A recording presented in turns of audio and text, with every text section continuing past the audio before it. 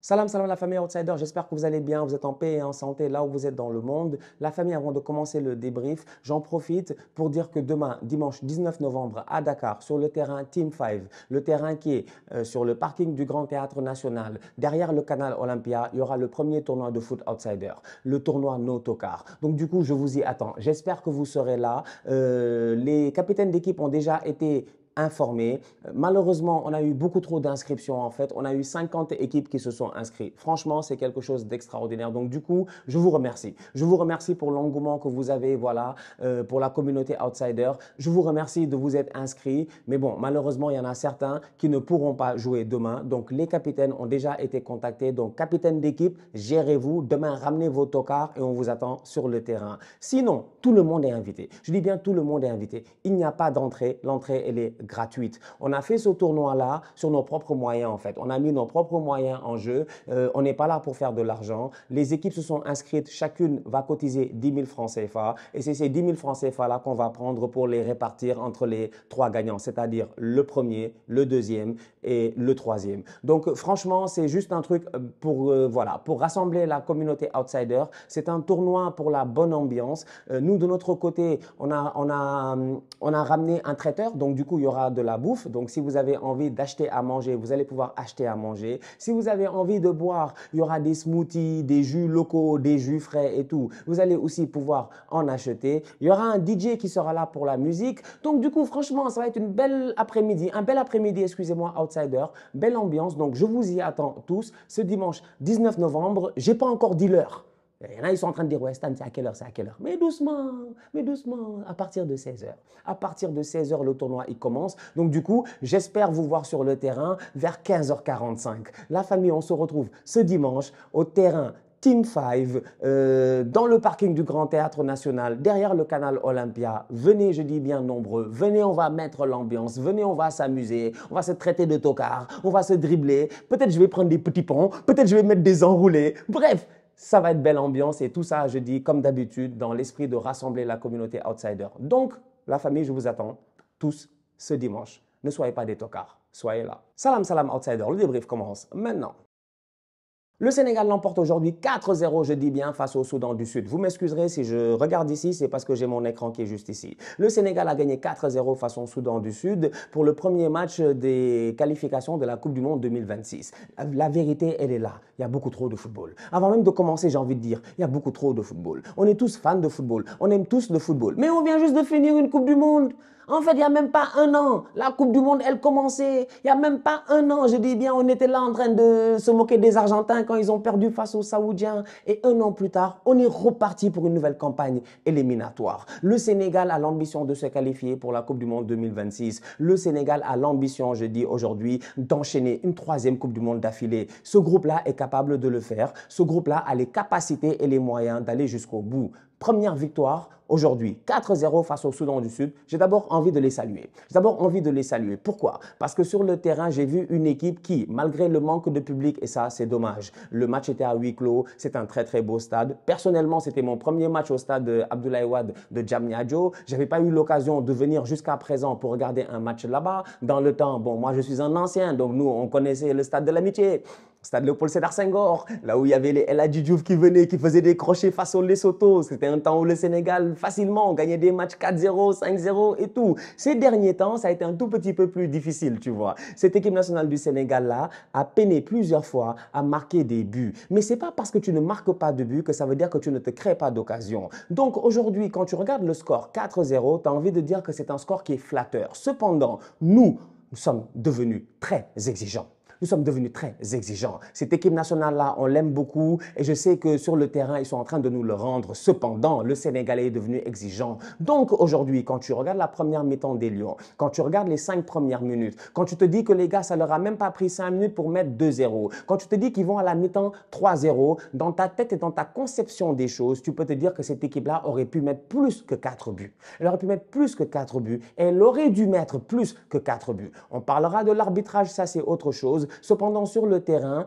moi, je pense que oui, il y a eu des ratés. Comme d'habitude, en fait, c'est pas la première fois que les boys là, ils ratent des occasions, quoi. Tu vois, nos lions, on les aime bien, mais de temps en temps, ils ne se gèrent pas. Sadio Mané, Sadio mais il me met un doublé, mais il doit mettre un triplé. Voire un quadruplé. Sadio Mané a raté des occasions aujourd'hui. Franchement, je n'ai pas compris. On peut parler là quand même d'un tout petit peu de tocarisme. Mais cependant, au-delà de cela, tu peux dire que les boys, ils ont raté. Mais tu te dis, Abdou Diallo, euh, pas Abdou Diallo, excusez-moi, Habib Diallo, il y a des occasions aussi où de temps en temps, le gars, il a dribblé le gardien à un moment donné. Moi, je m'attendais pas à ce qu'il frappe pied gauche, mais qu'il se réajuste calmement, pied droit, et qu'il me mette ce ballon-là. Surtout qu'il avait le temps de le faire. Donc, il y a pas mal d'occasions dans le match où tu te dis que franchement, les boys auraient pu se gérer. Mais si tu te concentres sur l'essentiel, tu as envie quand même de les applaudir et de les saluer. Parce qu'aujourd'hui, je pense que le staff technique de l'équipe nationale du Sénégal a compris a compris très bien que la tâche en Côte d'Ivoire ne sera pas simple. Le Sénégal a pendant très très longtemps été une équipe un tout petit peu prévisible dans sa manière de jouer et dans son système tactique.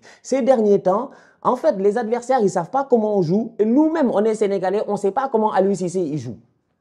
Techniquement, il y a un problème, mais en réalité, il n'y a pas de problème. Parce que c'est là où ça devient intéressant. Si tu vas à la Coupe d'Afrique des Nations et que tu arrives avec le même système de jeu que la dernière canne, tu vas te faire contrer. Les équipes ne sont pas bêtes. Tout le monde a des analystes vidéo. Les gars travaillent très très bien. Ils vont être capables de déceler les faiblesses rapidement de cette équipe nationale du Sénégal-là. Et il se peut, avec malchance que tu sortes très très tôt de la compétition. Donc moi, quand je vois le Sénégal gagner 4-0 aujourd'hui face au Soudan, il y a une partie de moi, déjà, elle n'est pas contente. Comme je dis, on est devenu très exigeant. Je me dis, moi, aujourd'hui, on aurait dû gagner 9-0, comme la Côte d'Ivoire. Ou à un moment donné, faire un gros score, comme l'Égypte. Bon, c'est pas France-Gibraltar, ça finira pas 14-0, même si Ousmane Dembélé il a marqué, mais c'est pour dire à quel point je m'attendais à ce que le score soit beaucoup plus élevé. Donc les ratés, c'est une chose, on peut le mettre de côté. Par contre, le fait que cette équipe ne soit plus prévisible tactiquement, ça je trouve ça très intéressant. La dernière fois, on a eu l'occasion, et j'étais là-bas à Lens, on a eu l'occasion de voir une équipe nationale du Sénégal qui a joué avec trois défenseurs centraux. On a eu l'occasion de voir Nyakate, euh, Cherou et puis Khalidou Koulibaly. Les trois, ils ont réussi à vraiment faire la triplette. Défensivement, ils ont été solides face à des Camerounais qui, vous-même, vous savez, physiquement, ils savent en imposer sur un terrain de football. Aujourd'hui, tu arrives face au Sud-Soudan. Est-ce que c'est pertinent de jouer à trois derrière? Heureusement qu'Aliou Cissé ne l'a pas fait. S'il l'avait fait, j'aurais dit quand même, coach, c'est des affaires de tocard. Parce que tu n'as pas le droit, face à une équipe que tu sais, elle est classée 160 et quelques tiers, Mathusalem, je ne sais pas quoi, au classement, tu n'as pas le droit de venir et d'avoir un système qui est un peu plus conservateur. Ce que tu dois faire, c'est sortir sur eux, attaquer le dès le début du match. Et c'est ce qu'a fait cette équipe nationale du Sénégal. Et c'est pour cela qu'ils ont gagné aujourd'hui 4-0. Et c'est pour cela que dès le début du match, ils ont mis deux buts. Tu avais un système en 4-3-3 en première mi-temps. Et même moi, j'ai envie de vous dire que ce n'était pas vraiment un 4-3-3 c'était un 4-3-1-2.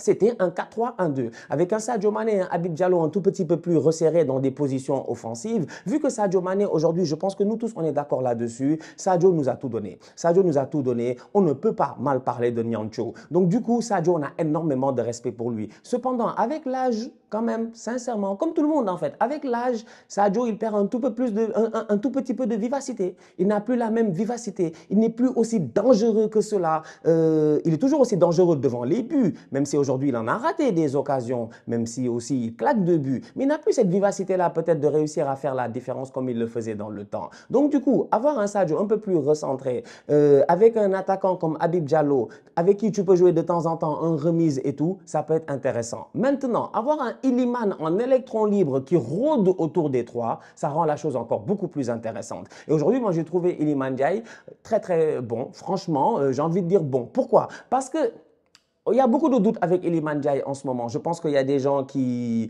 qui sont peut-être durs avec lui. Il y a les supporters de Marseille qui s'attendaient à ce que le gars, il arrive, il flambe et tout. Moi, je dis qu'en ce moment, c'est pas comme s'il était éteint. C'est pas comme s'il est éteint. Oui, peut-être qu'il n'est pas en train de flamber, mais Iliman, quand même, le feu, il est allumé. C'est-à-dire que quand même, sincèrement, le feu, il est allumé sur le terrain. Il réussit à faire des choses qui sont très intéressantes. Maintenant, il n'a peut-être pas, euh, statistiquement parlant, les chiffres pour venir euh, se protéger, pour dire que quand même, il est en train de se mais moi je trouve qu'il est en train de se gérer. Rappelez-vous que c'est un boy qui vient de la deuxième division.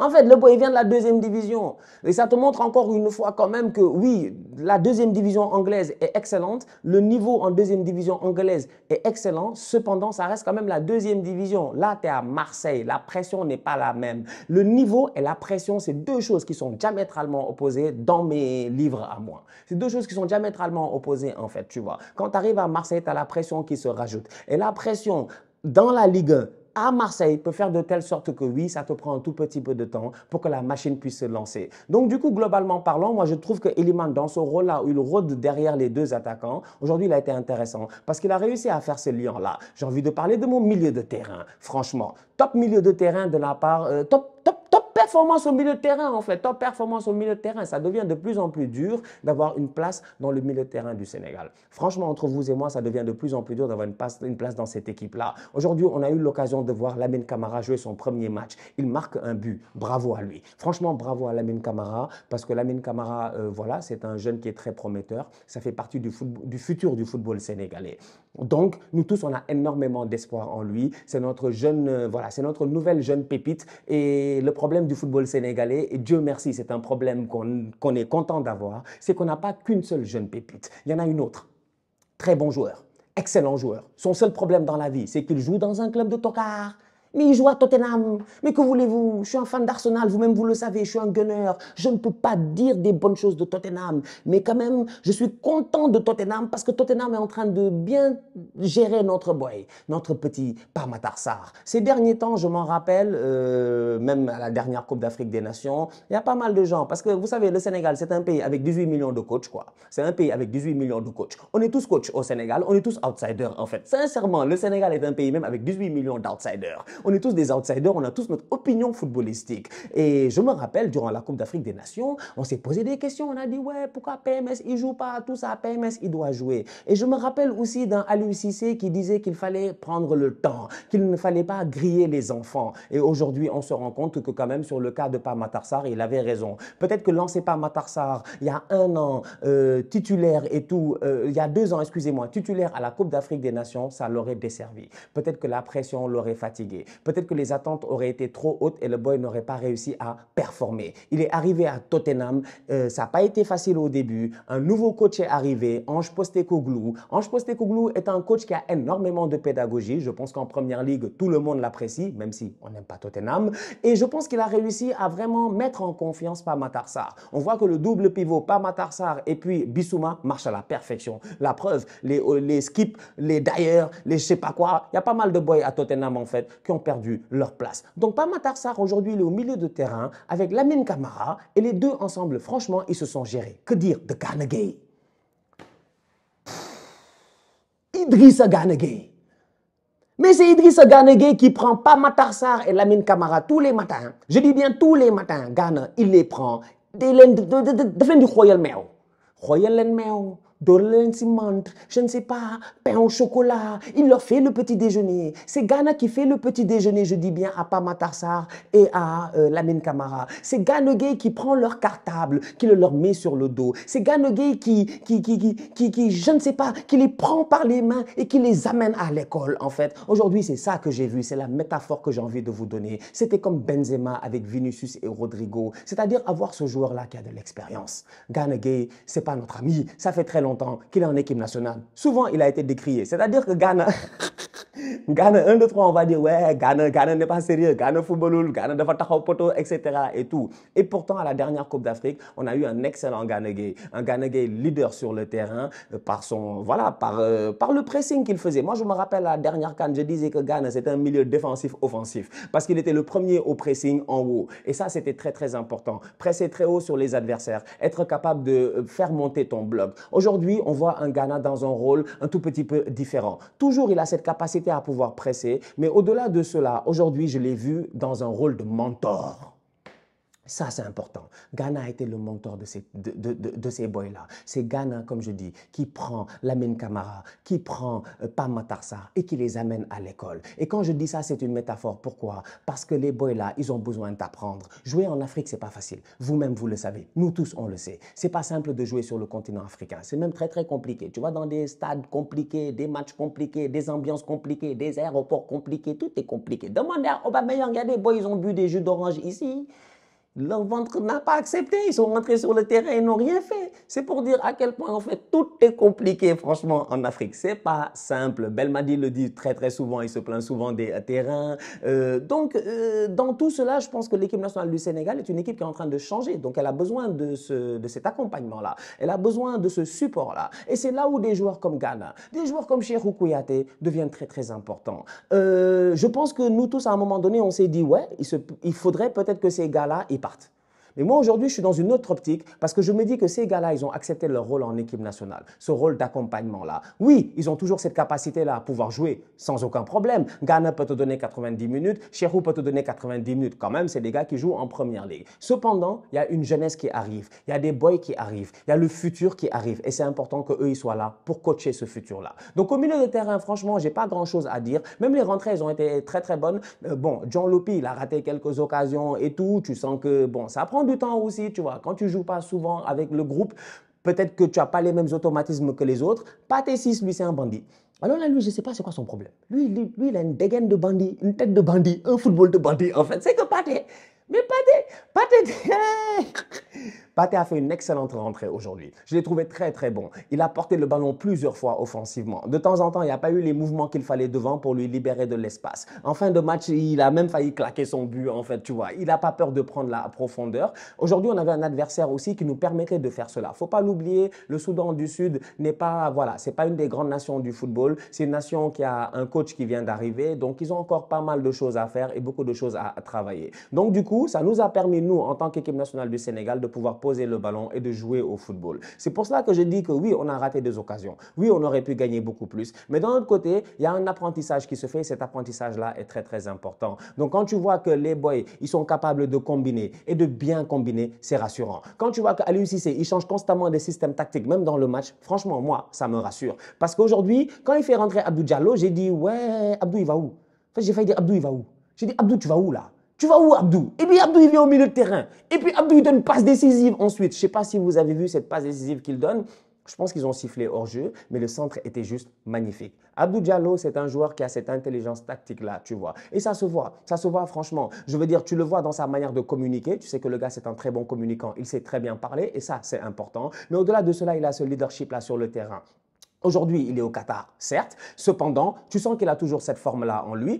Quand il fait sa rentrée, sa rentrée, elle est, vraiment pertinente dans un positionnement auquel moi, j'ai pas eu l'habitude de le voir. Et aujourd'hui, je me dis, OK, ça rend les choses intéressantes. Ça veut dire que cette équipe nationale du Sénégal-là peut se densifier de plusieurs manières possibles, tu vois. Tu peux te densifier avec un milieu, avec une défense à 3. Mais au-delà de cela, tu as des gars en défense qui sont capables de monter d'un cran, venir au milieu de terrain et créer des problèmes à l'adversaire. Donc, du coup, comme je dis, il y a des boys, même les rentrées, elles ont été pertinentes, quoi, tu vois. Donc, euh, voilà, la défense, il n'y a rien à dire. Nyakate, Koulibaly, ils n'ont pas eu beaucoup de travail à faire, tu vois. Euh, je pense que c'est Riak, euh, le numéro 15 du Soudan du Sud, qui a pas mal essayé de temps en temps, tu vois. Miskin, le pauvre, il avait genre 40 mètres de Edouard Mendy, le pauvre, en fait. Déjà, il n'était pas très rapide. Il tombe face à deux défenseurs qui sont physiques et qui sont rapides. Nyakate, vous-même, vous le savez, le boulot qu'il a fait en Allemagne a été très, très top à Mayence. Aujourd'hui, il arrive à Nottingham Forest le gars, il n'y a même pas un mois, il est élu meilleur, euh, joueur d'un match de première ligue. Nyarate défensivement, je pense que dès qu'il arrive en équipe nationale, il a mis les points sur les i, les barres sur les t. Et puis nous tous, on était d'accord de dire que ce boy-là, il est pertinent et il va se gérer. Jusqu'à présent, il n'y a rien à dire, il se gère.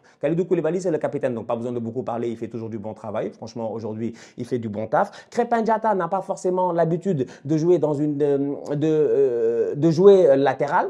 Cependant, depuis cette saison, on voit que Crépin, que ce soit en club ou même en équipe nationale, il revient dans ce positionnement-là. Dans une défense à 3, tu as un Crépin qui est beaucoup plus offensif. Dans une défense à 4, tu as un Crépin qui est beaucoup plus conservateur. Cependant, quand tu joues face au Soudan qui parque le bus, tu as le droit de lâcher tes gars et de les laisser monter. Donc aujourd'hui, Crépin, ça va. Euh, Jacobs, ça va. Euh, Formose, lors de la rentrée, il aurait pu mieux faire. Bon, après, j'ai envie de dire que l'équipe nationale du Sénégal a levé le pied. quoi. C'est que les gars, après 2-0, ils se sont dit, bon Pourquoi on va se fatiguer alors qu'on doit prendre l'avion pour aller à Lomé et puis jouer face au Togo? Donc tu sens que vraiment les gars, ils se sont pas trop fatigués quoi en deuxième mi-temps. Ils ont levé le pied, ils ont plutôt déroulé. Ils auraient pu mettre plus de buts. Oui, certes, il y a eu des occasions, mais ça a été quand même assez euh, tranquille. Donc voilà, Edouard Mendy, lui, il n'a rien fait. Euh, il n'a rien fait pas parce qu'il n'a rien fait, mais parce qu'il n'a rien eu à faire. Sauf en fin de match, rapidement, je me suis dit, hé, gérez-vous. Il faut qu'Edouard il garde son clean sheet. Effectivement, il a réussi à ne pas encaisser de buts. Bravo à lui. Donc collectivement parlant, franchement, j'ai pas grand-chose à dire à part bravo à cette équipe nationale du Sénégal là.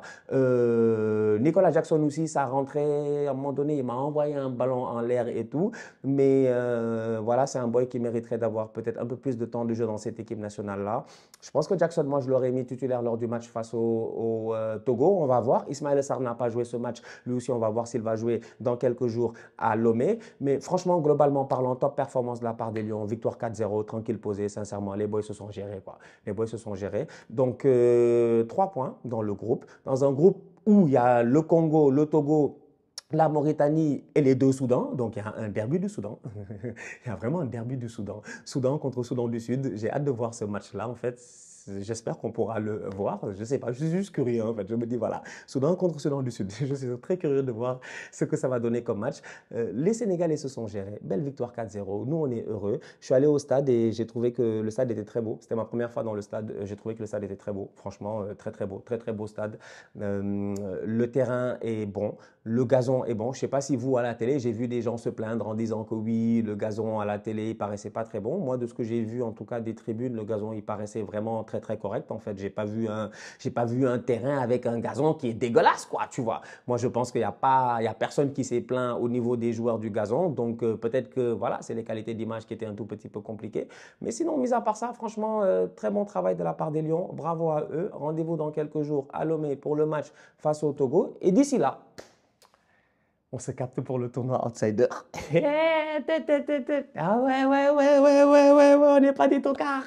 Ah, j'ai trop hâte de vous retrouver la famille ce dimanche. J'ai trop hâte de vous retrouver. Euh, comme j'ai dit, moi, voilà, moi, je, je vis pour ces moments-là. Je vis pour ces moments de rassemblement-là. Et je pense que voilà, la jeunesse sénégalaise et la jeunesse à travers le monde, en fait. Vous-même, vous savez, je pense que les outsiders, ça dépasse le Sénégal. Les outsiders, c'est le monde entier. Euh, aujourd'hui, il y a des outsiders qui sont en Europe, des outsiders qui sont en Asie, des outsiders qui sont en Amérique du Nord, qui sont en Amérique du Sud. Et il y a les preuves pour ça, en fait. Les gars, ils envoient des messages. Je suis sûr que dans les commentaires, ils vont me le dire. D'ailleurs, dites-moi de où vous me regardez dans le, dans le monde, mais c'est pour dire à quel point les outsiders, c'est une grosse communauté. Donc voilà, moi, ça me fait toujours plaisir de rassembler la communauté. Aujourd'hui, c'est à Dakar. Et voilà, on espère que demain, ce sera à Yaoundé, à Abidjan, à Paris, à Montréal. Je sais pas. On va essayer de se gérer et partir sur des événements comme ça. Mais en tout cas, restez branchés. Et puis voilà, on se capte donc euh, dimanche sur le terrain pour voir qui est un tocard qui n'est pas un tocard. La famille, d'ici là, on continue à liker, on continue à partager, on s'abonne, on s'abonne, on s'abonne, on est ensemble, on reste en santé. C'est le plus important toujours. Tous outsiders.